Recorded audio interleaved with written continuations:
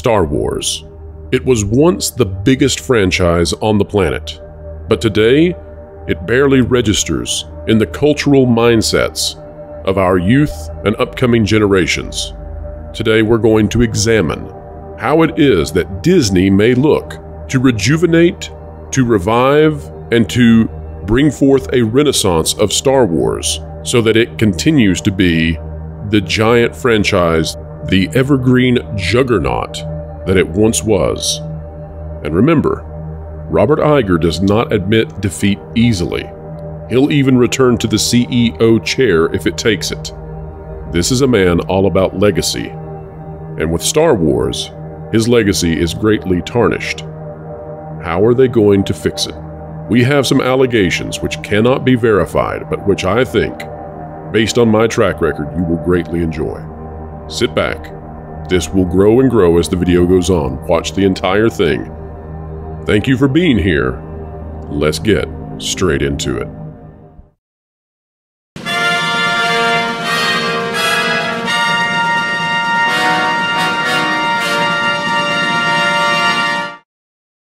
Hello, and how are you, everybody? It is such a fantastic day today. It's a beautiful Sunday.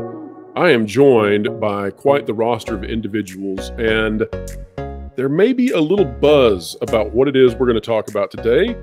And I think it's going to be a lot of fun. I think that this is going to be quite the discussion. Joining us, we've got Nick uh, from Echo Base Network. We have Lorne from That Park Place, and we have Coach also from Echo Base Network. Gentlemen, welcome to the channel. Thanks for having us on. Thanks for Pleasure having to be here. We are Yep. tickled to be here. Yep, in an august company. All right, now we are going to dive into something that is not Star Wars related for just a minute. Everybody, listen up. Everybody in the audience.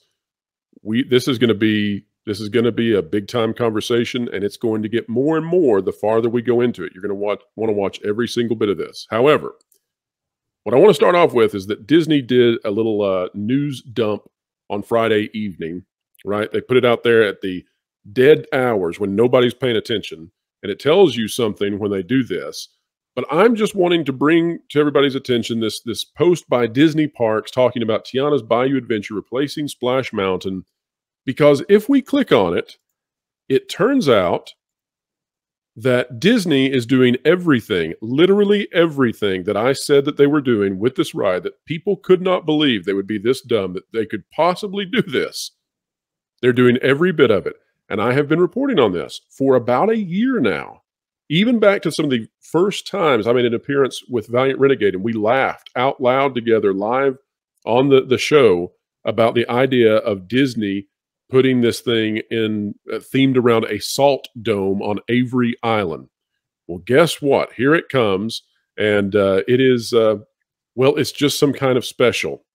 And so it's not only that Tiana, they're not going to base it on the movie, they're going to base it on something, you know, some new story they've made up. It's not just that they are getting rid of the soundtrack from the movie and coming up with their own stuff, but it's also uh, based around Tiana owning a salt mine, and it is literally a socialist com- uh, commune. So there you go. there you go, ladies and gentlemen. And I've been on this for a year, telling exactly what was going to happen, and nobody could believe it because it was so bad. And I guess I shared that because we're going to talk about something today that we have to label rumor. And we have to we have to label this speculation. And i just want you to remember as we go through this today what happened with splash mountain. One year of doing the same thing and every single bit of it came true. Now let's get into star wars gentlemen are you ready Let's do it. Rock and roll. Back in December, Daisy Ridley shared a couple of interesting images on her Instagram via a pair of stories. Uh, the first of these revealed that she recently stopped by Lucasfilm in San Fran, California. She shared a picture of the interior of their offices, showcasing part of a painting from The Empire Strikes Back alongside a statue of Yoda. Okay, so Daisy Ridley was at Lucasfilm. Interesting, interesting. Good Star Wars stuff. Had there. lunch, I believe. Yep, yep, absolutely. And then we also had some information about the uh, supposed next movie that it was going to be set somewhere around the sequel trilogy. And uh, I know not not everybody is a fan of Daniel RPK, but this was part of some of that buzz going on around uh, sort of the Star Wars community. And then the Hollywood Reporter. Let me get the name on this one. This is uh, Daisy Ridley talks her indie. Sometimes I think about dying, producing, and her Star Wars future by Brian Davids. And if we take a look to see what it is that Daisy Ridley had to say about, well, let's say Lucasfilm's big ideas coming up, here's the question she received, and here's how she responded. It took 32 years to revisit Han, Luke, and Leia, and so much story was missed during that time. Boy, you're not kidding and probably stuff that we didn't want to see now that we know who's in charge of it. So, my one hope for Rey is that we reunite with her at least once every decade and track her development over time. Is that more appealing to you than waiting 30 years and playing catch up on all the time missed? Can you say somebody's handed a question, ladies and gentlemen? All right, let's get to the answer. Honestly, I have no idea. Remember, this is coming on the heels of her having been at Lucasfilm. Mm-hmm. I feel like Rey's story ended in a wonderful way with the last film. yeah, Anybody here think that? Anybody like that ending? Nope. Oh. Not at all. It's, it's, already been an insane three years since that film came out. I feel like quite a different person. We've all gone through a massive change in the last three years with lots of crazy things happening. So I really don't know if there are plans. I just don't know. But ultimately, I loved my experience. I loved what I got to do, and I love the people I got to work with. So, should that happen again, even once, amazing. Because the dream is to really be around nice people that make you feel good and feel heard while you do good work. There are a couple of tells in this statement that indicate something's going on. Although I give Daisy Ridley tons of credit. And by the way, for anybody watching this video, separate the person from the role. Yeah. We all like Daisy Ridley, probably a wonderfully nice person, Mm-hmm. Rey, the character, poorly written, but she's given the lines that she's given. Okay. Yeah. That said, here are the tells where we get some information. Although she's presenting uh, that she doesn't know anything, here's what we get. First of all, she says, Should that happen again even once? Amazing. Why would you say even once in that if you just, I don't know. But then also, who are these really nice people that make you feel good and feel heard? Who are these people? Because J.J. Abrams is not going to come back to do this. None of the people associated with J.J. Abrams are probably going to come back to do this. So, who are these really nice people, gentlemen? Any guesses on who these wonderful, nice people are? No, no clue. I would guess that it's whoever she thinks she's going to be working with specifically. Probably so. All right, now here's what we're going to get into. And this is really okay. So all of that is out there. That's all out in the press. People know about it. We all know she visited Lucasfilm in December. We also know that Robert Iger took over Disney around what time? Was it uh, December? A month around ago. the same time frame, right? On my yeah. birthday. Yeah. And what is your birthday, Lorne? November 18th. Okay. How about that? Iger takes over, and very soon thereafter, Ridley's coming in to Lucasfilm. Mm. What else is going on right now is that the Galactic Star Cruiser can't fill its rooms, can it? Mm-mm. They're having to cancel the excursions, the the landlocked, non-moving excursions of the Galactic Star Cruiser at Disney's Hollywood Studios. They're having to cancel that thing in the summer, the hottest time, not just in terms of temperature, but also in terms of attendance. They're having to cancel it. Who is the main draw for the Galactic Star Cruiser? The character of Rey, who also is the main character over at uh, Galaxy's Edge in both Disneyland and Disney World. Rey again. And here comes Dis- uh, Daisy Ridley into Lucasfilm right after Iger takes over. Interesting. What is more interesting, perhaps, is that I have two sources and I cannot verify the information that they have provided.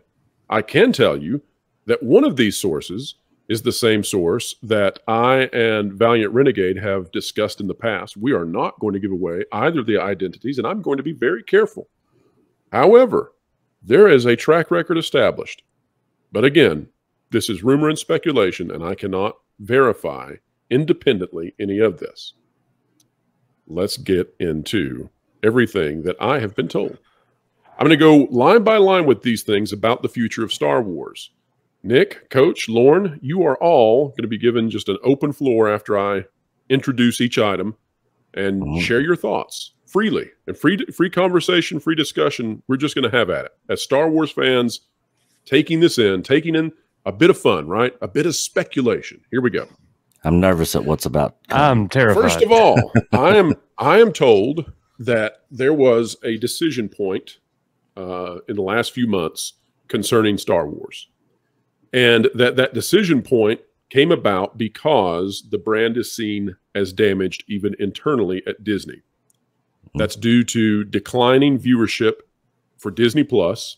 It's due to declining interest in the parks, and that's particularly uh, destructive for Disney on two fronts. First of all, Star Wars was supposed to be an evergreen property, an evergreen franchise that has its own marquee spot on Disney Plus. And second of all, it has some of the most premium real estate in any of the Disney parks, both, both on the West Coast and on the East Coast. Star Wars cannot fail for Disney. And the decision point is that Star Wars is failing. And so it is my understanding, although I cannot verify it, it is my understanding that the top level leadership, you make of that what you will, that the top level leadership of Lucasfilm was brought with the top level leadership of Disney to make a decision as to what they're going to do in the future to reconcile this problem they have. They had some options.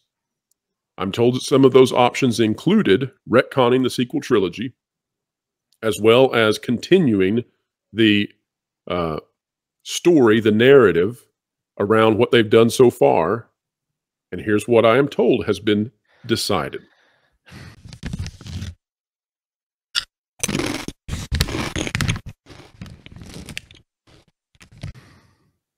I am told that Disney is going to bring back Rey. So let's start there and let's just dive in. Gentlemen, this is probably the easiest Oh. guess that you could have had so far because Ridley was at Lucasfilm. Mm. Now she's being asked questions about coming back as Rey. She's being very diplomatic, saying she doesn't know the plans. Notice she didn't say, No, I don't know anything about it. I'm not coming back. No, they haven't reached out to me. She didn't say any of those things. She's pulling sort of one of those uh, Star Trek con moments. Everybody know about that? Mm. And she's saying, "Oh, I don't, I don't know of the plans." Well, that's not the same as saying, "No, it's not happening." So, gentlemen, let's start there. Rey coming back. Can Disney do that in a way that would redeem the character, or is it too late? Take it away, whoever wants. Mm, so I'll just off the top of my head, just from hearing this, uh, those movies disgust me so much, and I hate them so much that even seeing her character come back in any way, shape, or form disgusts me. But Uh, again, not talking about Daisy Ridley herself. We're talking yeah, about not the talking character. about Daisy Right. Ridley. She's a wonderful, Rey lovely the- person. Rey the character. I and and anybody that's watched Echo Base Network for a long period of time knows we have no issues with the actors that portrayed any of the characters in the sequel trilogy.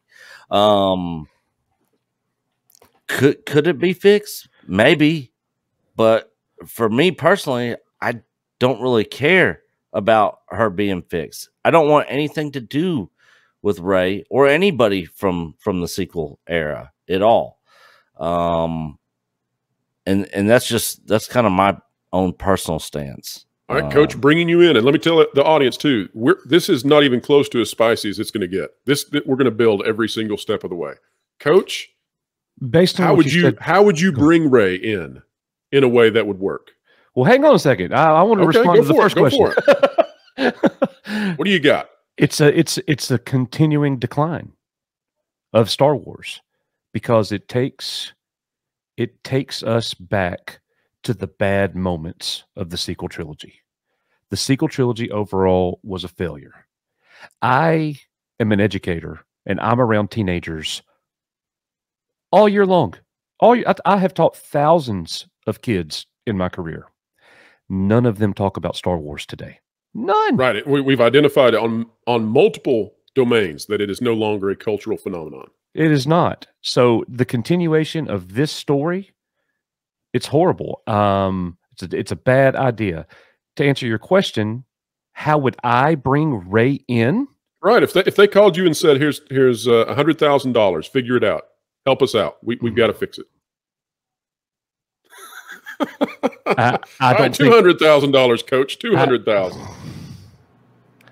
so. You're talking. I mean, if we're talking about something that happens after the sequel trilogy, after Episode Nine, you and Rey's coming Yes. in, I just don't. I just don't see how you how you fix it. I, I don't know. I wouldn't do it. that, that would be my answer. I, I wouldn't do it. I I, I can't see. You'd say you're off your rocker. uh, You can keep your two hundred thousand. Well, no, I'd come up with something. well, some listen. Somebody in Hollywood is probably feeling the same way that you are right now, looking at it and saying, well, I, "I can't believe you're going to do it." But all right, I'll take the money. All right, Lorne. First thoughts on Rey potentially coming back. Well, I, I think there's two things. It's the, the, you kind of presuppose two questions with this. Could it be done, and could it be told in a story that would at least be thematically appropriate? I think there's two ways that you could do that. One is that you could set up a story that is like in an Elseworlds kind of context, where it's not really considered part of official canon, but it's a Star Wars story. The other is that you set it up to actually retcon the sequel trilogy and make all of that go away. So it's a stepping stone as kind of an apology to reset the universe so that we get back to the end of Return of the Jedi. Are they going to do that? Probably not. Other than that, no, this does not improve the fortunes of Star Wars at all. All right, let's go into the next point. Everybody excited for the next one? Oh, All I hope it's, You're I gonna hope love it's it. better than the last one. All right, here we go. I am told, although I cannot verify, and this is speculation, that this was a financial decision on the part of Disney. Hear me out. Disney has invested greatly into the sequel trilogy long term. We're talking about all the money that was put into merchandise. We're talking about all the money that was put into the theme parks. We're talking about all the money that was put into a hotel. And it is going to cost a lot of money to retcon that stuff, to revert that stuff and refurbish it and move it into any other era. And I'm told that at this decision point, that all of this was laid out, that costs were looked at. How much would it cost to move these various assets into some new era, some new story? What is it going to cost to go back and to change the sequel trilogy or to even get rid of it, to, to just jump ship and leave? What what are the costs? This was a financial decision. And so this contact, this source tells me that the reason that they are going to potentially bring Rey back is to test it out. Put out a big merchandising push with a theatrical release to go along with it and find out can Rey reinvigorate Star Wars with a number of other characters around her that we will discuss in just a moment. All right. So, any thoughts? We'll start with Lorne this time. Lorne, you went last, but any thoughts on this being a financial decision decided at the corporate level by a bunch of business people in Iger looking at what's going to cost them more? What say you? Was this the right call to do one single second attempt to bring back the sequel trilogy characters? No. I think if you want to test the waters there, you've already got Disney Plus there for that. You measure your engagement there, you keep your costs down, you don't waste the prestige of a theatrical release, plus all the associated merchandising. You put out the TV show, you wait to see what the reaction is. If people are favorable, then you put out the merchandise. Don't waste your money and even more of your prestige on something that is so divisive. Okay. Coach, what do you think? I feel like it makes business sense what they're doing as far as Disney's concerned because we have said it for for years now they have a severe disconnect with the fandom. They they're putting all their hope in this character. It makes sense It makes sense. Bring Rey back, get the kids excited about her, put good ki- characters around her, come out with a movie or whatever it is, and then maybe people will go to the hotel. Maybe more people will go to the parks. Maybe more people will buy the toys or whatever it is. So it- it totally makes sense. However, the disconnect between that story, all of that with those characters and the fandom is so wide, it's going to fail. I can tell you now.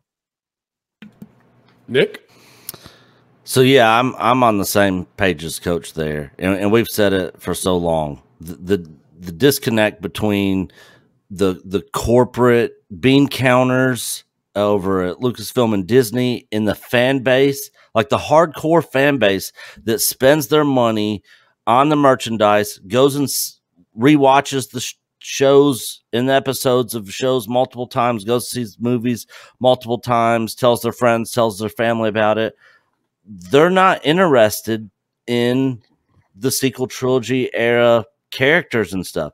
Now, granted, of course, there's a fan base for that out there. There are people that love Rey in the sequels and all that.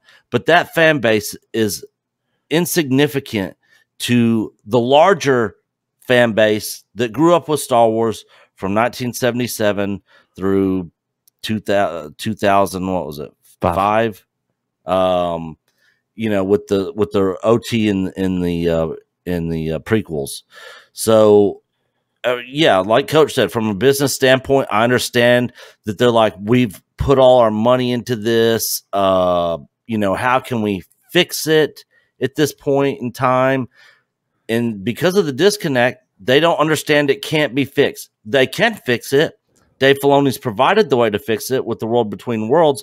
Retcon it, or or have it in its own separate time frame and and do small spin-off stuff for the small amount of people don't put a lot of money into it and then focus more on the unknown future of the ot characters get them all back on screen together like everybody wanted to see in the sequels that will bring droves and droves of fans back but the thing is they don't get it they don't understand it and uh, if they're going this route and going to be testing the waters, they'll get their answer pretty quick. well, you know, there's there are egos involved. I would say. I Oh, think yeah. that's part of what is playing into this. Yeah. All right, let's let's increase the spice levels right now. Here's what else I'm told, and this this I was actually told about six months ago, and it's resurfaced now. Uh, we never actually talked about this, although uh, Valiant Renegade may have seen some of this information when we were sharing this back and forth from a from a trusted source that we have, who has been right. I mean, just universally. But again, I can't verify it. However, about a year ago, it seems, based on what I'm told, that there was an order put out to various consulting firms, various research firms to look into popularity among characters for Star Wars. And they were looking at recognition, popularity, favorability, going to do uh, sample sizes with large groups of people to figure out which characters still resonated should they move forward. And this gets into what is being told to me is a new galactic pillar system, the Galaxy Pillars, which will be the big characters going forward, which Disney hopes to unite the fan base by putting these characters together and having them uh, be part of a unified story that they're going to attempt to bring Rey back to get the sequel trilogy fans, should there be any, and some other characters. But the first thing that popped out was that I received information from this source saying that in testing with with uh, random people, huge numbers of people, consulting firms brought in for this, that R2D2 was far and away more popular than BB 8. It did not matter if people had seen the droids before, it didn't matter if they had never heard of Star Wars whatsoever. And so, in this next push, what I'm being told is you can expect for BB 8 to be what's referred to as a tier two character in the story, and R2D2 will be up front as a main character. And that's coming off of this testing that they've done with audiences to see you know, sort of engineer this story uh, from the from the fans up, trying to determine it that way. Any excitement about seeing R two D two back with Rey, gentlemen? And then we're going to get into the other characters. Uh, it makes sense.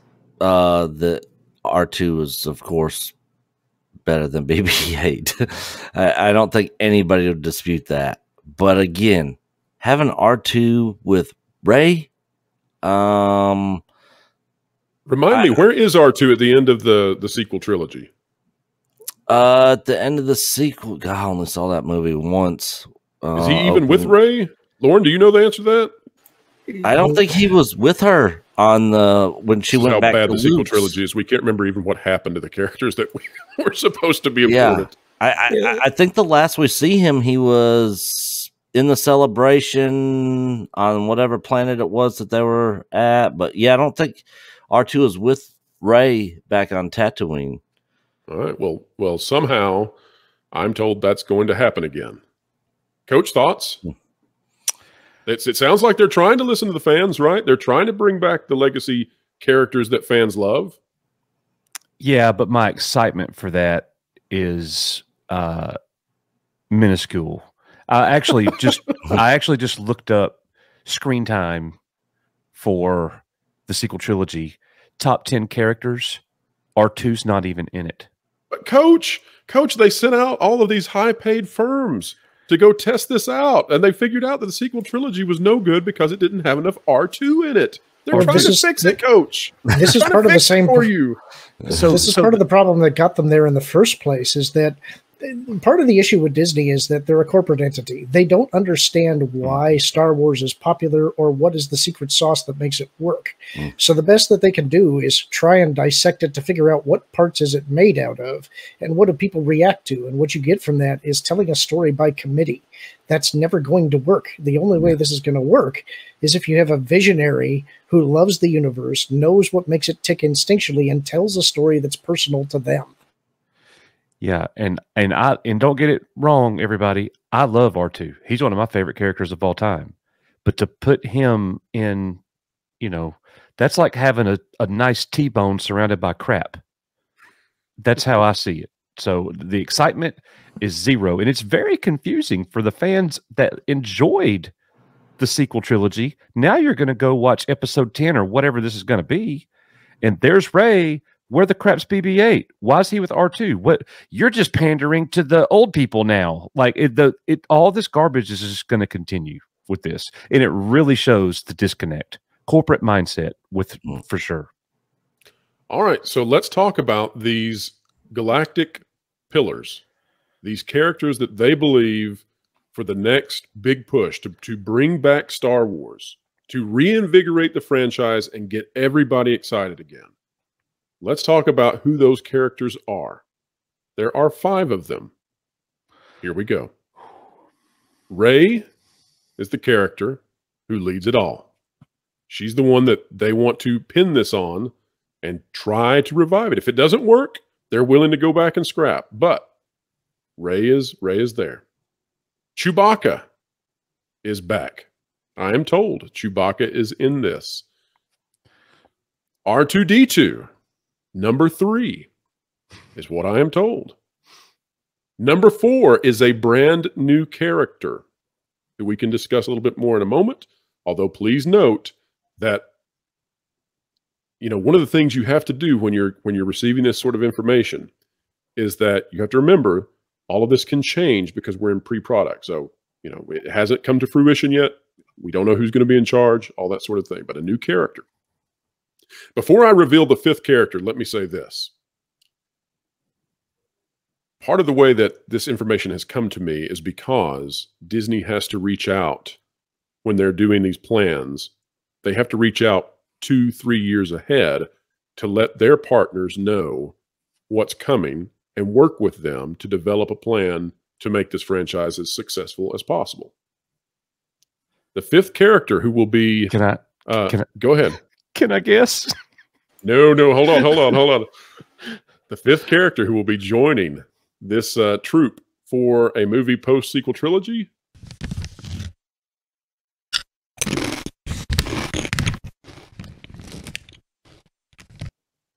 is Grogu, I knew it. Baby Yoda. I knew it. I, I was going to suggest Rose Tico so they could offload some of the old figures, but Lord, I- we can't Yeah. have people. We can't have people leave the video that fast. We can't announce that Rose is back. No, no, Rose is not. I have heard nothing about Rose, but yes, this is the grand plan that I have been told is in the works. Again, I can't verify it. It's speculation. It's coming from sources I really, really trust. But the idea is that somehow Grogu is going to unite with Rey in the next movie. If they can work out all the contracts, if they can get Daisy Ridley back, that Grogu will be a part of it, along with R2, Chewie, and a brand new character. All right. First of all, Lorne, I need you to explain to me uh, Grogu. How long will that put him uh, having disappeared through the sequel trilogy? How old will he be? And will he look any different? Because I think, although now this part is truly just me thinking out loud, I think that aging Grogu helps them because then they can sell new Grogu toys because he won't look the same as the Grogu in The Mandalorian. Lorne, tell us about so- this. So I agree, and this was the part that I I knew about a little bit ahead of time, and so I put a lot of thought into this. I apologize if I ramble for a bit, so I'll I'll try and keep it brief. At this time, he would be at least seventy five years old. If you assume that he ages linearly just like a human being does, I mean, obviously over a greater time scale, that would mean that right now Grogu in the Mandalorian time frame is about five years old. At the time of this projected future, he'd be about seven and a half years old. But let's put that away for a minute and, and pretend that, that maybe he ages a little differently and we'll, we'll get a little bit higher. The logical place to take Grogu uh, is, I think the title of The Mandalorian refers to him. And the way that I always pictured the series ending is there would be a flash forward into the future. You would see Grogu recounting the stories of his father at Din Djarin's funeral as the last, as the, the Mandalore who just passed. And then Grogu could potentially take up and lead from there. There's an interesting thing that I got to looking at when I was looking at time scales over time here. One of the interesting things that we used to talk about with Baby Yoda was that he was born in the same year that Anakin Skywalker was. There's also the birth date, the exact day of births for Luke, Leia, and Ezra was all on the same day. Um, there's you might, do- for the casuals, you might have to explain who Ezra is. Ah, Ezra from uh, uh, the Rebels TV show, who right now is missing in the unknown regions, supposedly in the orbit of Thrawn. Um, but there's a duality that's present in Star Wars always. There's a yin and the yang. This comes from Taoism. It's what a lot of what Lucas based things on. If I was thinking about where a Kathleen Kennedy led Star Wars was coming from, it would be that you have these two super high powered characters. One is Grogu, one is Rey in the old EU, one of the things that was talked about was the virgin birth of Anakin, and that came from experiments that were being conducted by Darth Plagueis while trying to create life. Rey, in a way, is also a side effect of those type of experiments for Palpatine while trying to create a clone that could house his body. Whatever enemy that you have in this kind of a timeline would be looking for entities of that kind of power. And thinking about how Kathleen Kennedy looks at things, um, if Grogu has been around Mandalorians and he sort of rejected the path of the Jedi, I could see him being a toxic male Jedi that Rey would have to then redeem. They, they, from Kathleen's standpoint, might want to set him up as a potential villain. The alternative is that Rey and Grogu team up against whatever villain is hunting them for their unique abilities and, and biological characteristics. Fantastic thoughts, Coach. Now it What are you all make- over there. now it all makes sense. Really, really, it does. And, and as soon as you were going through the list, pro, I number five, I knew it because it it definitely makes business sense. But chapter sixteen, Mandalorian happened. Star Wars fandom is on a on a high it hadn't been on in so long. The fans were united, whatever that means. But the fans were overall generally extremely happy and celebrating that moment. And then the next show comes out, The Book of Boba Fett. And immediately, immediately almost, Grogu is not with Luke. We're going to go, we're going to fast forward to Mandalorian chapter 17. Grogu and Mando are back together already. Now it makes sense. Grogu is like the crack pandemic of the 80s. You got to give you got to give more Grogu to the fans. Keep them wrapped up around Grogu and they're really going to be leaning on him in this Greatest next, analogy ever. next iteration of the movies. And it makes sense. It really, really does. Could that be an interesting movie? Yes. Will people go watch that? Absolutely. Will it make money? Yeah, it'll make money. Will it be as good as of Star Wars as original fans want it to be? No. It won't be. It won't it will never be as at what Star Wars could have been.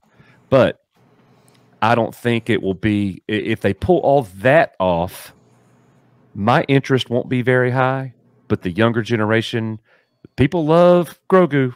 You throw him in commercials and and he's with a powerful woman. He could be selling Hyundais in no time. That's central You know, if this, this Star Wars thing doesn't work out, he's, he's Yeah. going to be everywhere. So so that uh that is that is a win for Disney. Maybe. Nick? How big how big I don't know, but it, it's not necessarily a win for Star Wars for me.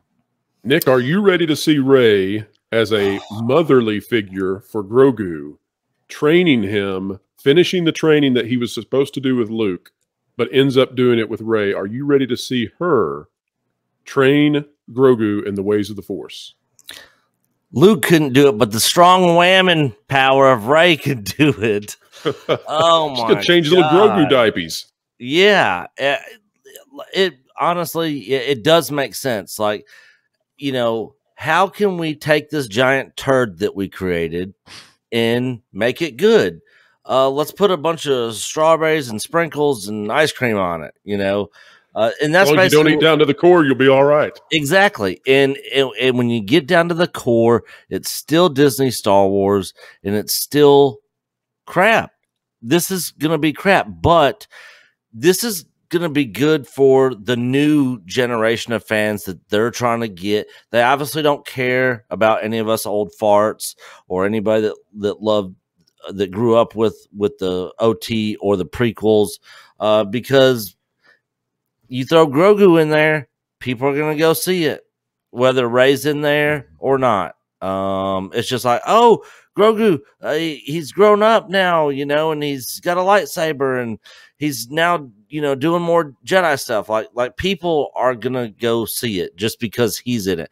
Then you add Chewbacca and you add R two into it, which are the only two characters you can add into it because they, you know, are ageless uh, and will live on forever. So you throw them in there uh, to appease some of the OT fan base that actually like the sequels, um, and you you got on paper you have a recipe for success with Well, I found it interesting. They didn't even mention. My source did not even mention C-3PO. So apparently Yeah. not part of that that big five. Yeah, and uh, you know, we asked Anthony Daniels um, when we had a conversation with him in Nashville last year. You know, we see R two and stuff everywhere. Where's three PO? And he just looked down at the ground and was like, "Mm, "I don't know." so I, I don't know. He seemed interested in continuing his role uh, is three PO, um, but it doesn't seem from just his body language and stuff that he's really been getting calls to reprise that role. Um, so yeah, So that Uh, jives then with what you're hearing, which I had not heard Yeah. that. I had not heard what, what you're saying. So that's Yeah. brand new to me. But that, that Yeah. lines up then. yeah. So yeah, I it, it makes sense, but I I have no interest in seeing that. I would have way more interest if they did the World Between Worlds, retcon the whole thing, and then gave us the original cast from past the Mandalorian, you know, all up until you know where the sequel started. Well, you know that that's interesting. You bring that up. We're going to come back to that in just a minute. Um, the the the other character we haven't talked about, this fifth character, I don't have very many details on at all. However, the fifth character, I am told, is some is a character that they want to develop through the Disney Plus shows, either already existing or will exist. I don't know the answer to that, but this character is going to come from one of the Disney Plus shows and be the fifth. So, any thoughts on who that might be? I mean, legitimately, I've not been told who it is, so I, I can't, you know, I can't say. Ahsoka. No, she's she'd be way too old. Old uh, uh, old Ben, you got old Ahsoka. Hmm, hadn't thought of that. But you know, the, the what I was thinking is it might be like a child that they introduced maybe in season three of The Mandalorian. Could be something like that. And then Could be somebody from Yeah. Skeleton Crew too. Yeah, that's what I was thinking. Oh, that's a good point. Yeah. Yeah. Could be a kid from Skeleton Crew. Who might be somebody that would excite you guys? Might might get you to think about buying a ticket even if you don't. Any characters out there in the galaxy that might get you a Mm. little bit interested? It could be Broom Boy. Ma- Ma- Mando. I like Broom Boy. Broom Boy finally shows up. He's been waiting. He's been cleaning that deck for so long. All right, so let's get to the- Palpatine. Palpatine. Oh well, you know, there's only a billion of those lying around. He he's Um, yeah, he's coming back again. all right, so let's hop into the last thing that uh, my source tells me. Um, but basically, Star Wars has been mismanaged, and this is an attempt, let's say, to get it back on track. But this is not the original plan. There was a different plan. It was jettisoned when Gina Carano was let go, and Favreau and Filoni had to come up with something new. And then, not from that same source, from a different source, I'm told that this new thing they're trying now is an Iger initiative to try to rejuvenate the franchise. But again, this is not the first plan. This is not what they thought they were going to do when The Mandalorian uh, was first put out there, when they were first planning out all of these interconnected series, when they were thinking about bringing Thrawn in and assigning a very famous actor with that role. But uh, that this is this is the result. This is what we come to now uh, after Gina Carano was fired. Where do you guys think it was going before she was fired? Where was where were Favreau and Filoni going with this? Ooh, that's a good question. I mean, ultimately, I guess they were going towards the whole Thrawn thing and remnants of the Empire. Um, you know, with Thrawn trying to come back and take the galaxy back or whatever. Seemed like the the direction that we're going. Uh, you know, there was you saw all the secret stuff they were doing behind the scenes, trying to, you know, they were wanting Grogu for a reason for his blood. There's obviously some cloning and all that sort of stuff. They were trying to trying to do stuff with that. So I'm sure that was going to play a big part in it.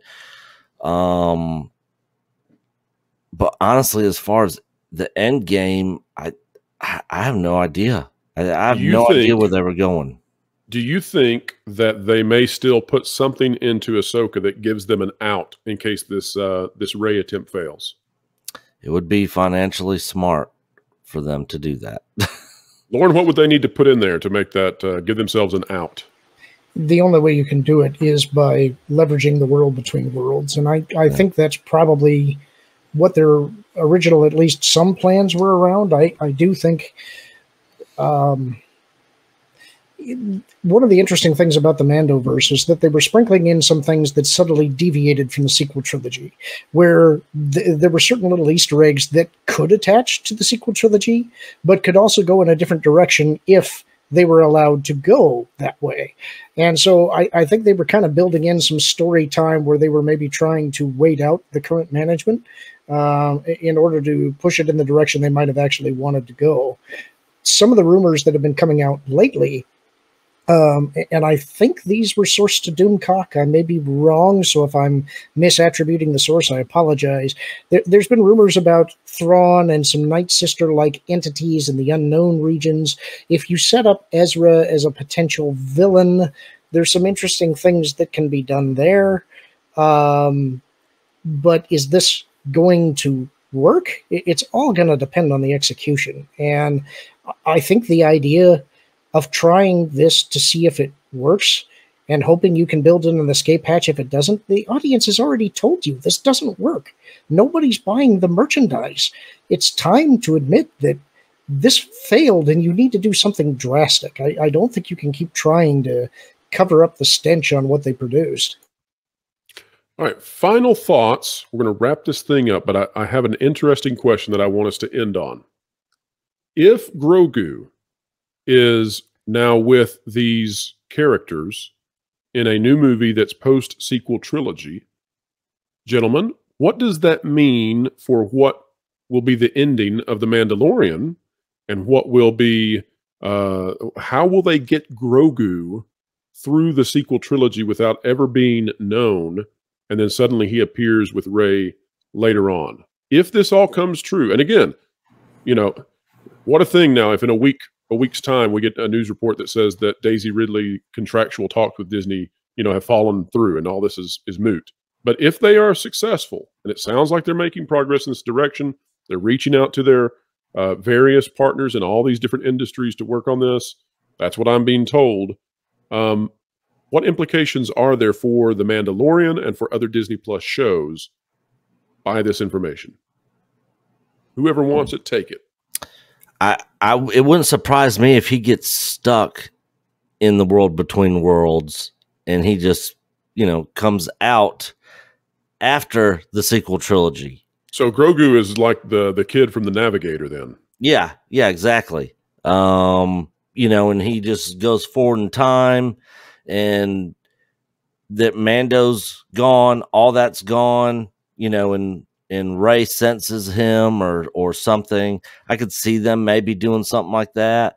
Uh, then that way, um, you know, little cute Grogu, you know, is just in a different time frame now. You know, um, and and it's explained because he was he was stuck in the world between worlds. You know, and that's why he was never actually around. You know, during the sequel trilogy. Well, that's always sense. been a hard point Sorry. for them. It's always been hard that you can tell when they bring Luke into the story in season two that the idea is for him to train Grogu. At the same time, they've got the sequel trilogy, which is this hard stop mm. where Luke is a loser and he doesn't have Grogu. Yeah. So, Coach, what do you think? Two thirds of the live action series that are coming out this year, Skeleton Crew and Ahsoka, both deal with the unknown regions. It makes more sense to me that that's where Grogu would be it, they could definitely do the world between worlds. Nick is not wrong. That makes sense as well. But with them putting so much focus and emphasis on the unknown parts of space, that that makes sense to me. With so much happening with Skeleton Crew there and Ahsoka, so uh, that's definitely where he could be. Lorne, there's another reason why that could be the case too. Uh, you mentioned earlier Rangers of the New Republic presumably rangers range, and I would guess that they would be going out into those unknown regions. When that got scrapped, what we got was Skeleton Crew. And mm from what I understand, that's supposed to be kind of a lost in space style show where they end up in a region that they can't get back from, where there's a bunch of kids. If Grogu somehow ends up on that ship, that's one way they could take it, and also pull him the Mandalorian. Yeah, Star Trek Voyager in Star Wars. that's right, Grogu, man, he's just everywhere. Mm. All right, gentlemen. Well, this has been fun. Uh, it's been fun to see your faces as we go through this. I apologize. It's sort of like uh, you know getting uh, nauseous on a road trip, so I apologize. Yeah. You know, knowing ahead of time what I was going to put you through. But uh, let's start with Nick and work our way uh, to Coach and then Lorne. Final thoughts on potentially Rey and Grogu being united in a new movie. Final thoughts from a business standpoint uh, for the from the bean counters, I understand what they're trying to do. They've already invested all this money. Again, like we've said, the disconnect between the vast majority of the fan base and what they're trying to do is there's just complete disconnect there. So good luck for them, you know, in whatever direction they decide to take this in. But uh, if it's if it's sequel involved, it's probably going to be a failure. But if you throw Grogu in there, man, I I don't know, man. It's it, it's hard to tell um, what the general audience of Star Wars fans are gonna flock to, and that seems like something that they would flock to. So I don't know. We'll see what happens.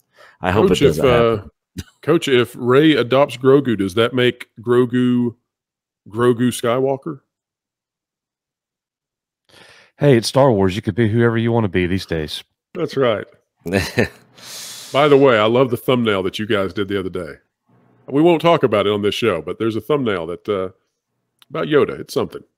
Oh yeah. Okay. Yeah. Yeah, Yeah. yeah. Yeah. it's good. Thanks. All right, Coach, tell us your thoughts. tell us your thoughts. Um, it already sounds better than the sequel trilogy. Well, that, that's true. And if they keep J.J. Abrams away from, from it and Less Rian lens Johnson, flares, Rian Johnson away from it, less forehead. Lucasfilm Story Group away from it. it could it could be better than the sequels. Will it be as good as the Star Wars we would like to have? I I'm very very doubtful of that. Um, it's not ever. We're never going to get the original trilogy back. We're never going to get the prequel trilogy back. Uh, but could it be better? Absolutely. Is it going to be something that could save the parks and save the hotel and all that? I am very skeptical on that. Uh, but as a as somebody who loves Star Wars, I would love to see them fix it. I would love to see it be better. I would love to see it be healthy. So, and I would love it. I would love it to be something that I could get behind and appreciate. Uh, I don't know if that's going to happen, and that's sad. Heard that. All right, Lorne, uh, the final word is yours on this. Tell us, though, any thoughts on sort of an audience growing up with Grogu? They're going from Disney Plus, and despite it taking him uh, a lot longer to age up, chronologically in our in our world, if this happens, you know the the kids who grew with Grogu will turn into uh, little uh, prepubescents and teenagers, while he does with Rey. Well, another part of the problem that they have with this idea is it, it runs into the same problem that you had with the original sequel trilogy is you have this massive gap of time between one story and the next. If you put Grogu into this, it robs any forward momentum that he could have in The Mandalorian or something else because you already know that he's there 30 years in the future doing stuff and, and nothing of any real import happened. In poker, you've got to know when to fold. They keep throwing good money after bad. It's time to take the loss, fold, lick your wounds, admit you made a mistake, and get back to basics. I think it's safe to say that Kathleen Kennedy is not listening to Kenny Rogers. Let's just let's all put that out there. But uh, gentlemen, what an honor to have all of you on. Uh, fantastic discussion. It's not the discussion I think that you all necessarily wanted to have. We'd all love to say, well, they're retconning the whole sequel trilogy, and and we're going back to uh, Luke, and we're going back to Han, and they're all cool again. We're going back to Leia, and she's the uh, princess warrior we always had. But uh, this is Disney's next Hail Mary attempt, allegedly. Let's put the disclaimer out there one more time. This is not finished product. This is something in early, early development. And these rumors are coming out of uh, potentially partners who are working with Disney or with Disney's subsidiaries and relaying information to me. So keep all of this with a grain of salt. But it's been a fantastic time. If you enjoy content like this, please like the uh, video, share it out, subscribe if you have not yet already. And if you're watching this video in the first few hours, just know that we're about to discuss this more in depth, along with all kinds of more zany information about the Walt Disney Company and their crazy week coming up over on Renegade Online. Check out the Valiant Renegade channel for that live show where we'll be chatting it up. Link is in the description. All right, may the force be with all of you. Keep learning, keep growing, and keep having fun. We'll catch you next time. See you guys.